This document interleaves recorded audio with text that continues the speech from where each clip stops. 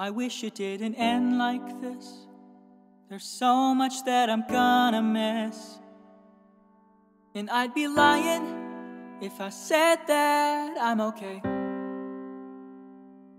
I try to maintain my composure as I graduate with little closure. All I can do is take it day by day.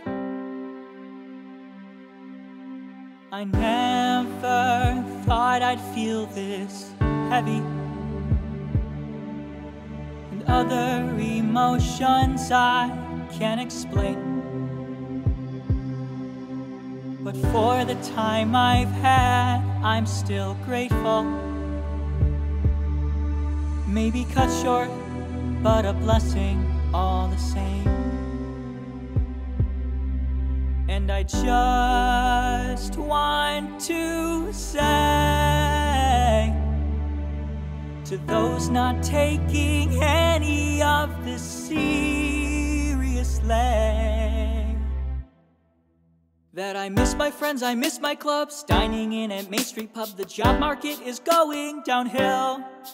And I understand that you're upset that COVID is not over yet, but if you don't stay home, it never will.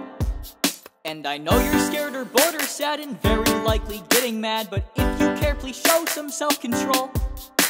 Wash your hands often if you please, the best way to fight disease, at least twice through the alphabet in whole.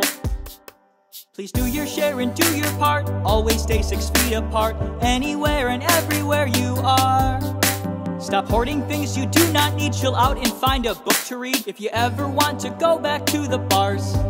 But there is one more thing that you should know we are all in the same boat, whether you are five or fully grown.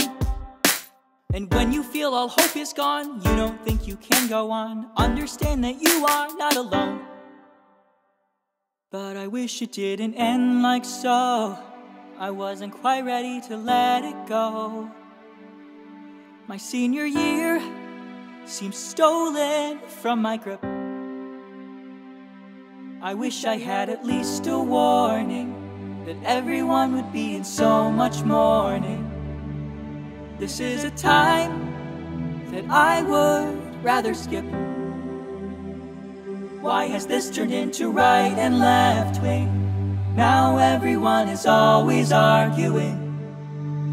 Everything so politicized. Wish we could all come together, and maybe all of this would get better. Public health should not be minimized. And maybe soon we all will realize. But at this time, we can only sanitize.